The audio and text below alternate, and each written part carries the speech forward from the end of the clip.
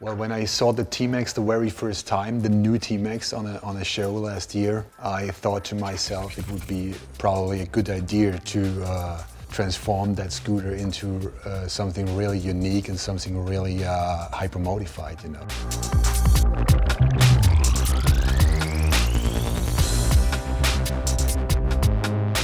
With the T-Max Hyper Modified, I created a more aggressive uh, riding style. Here you can ride the bike really hard and you go corners very fast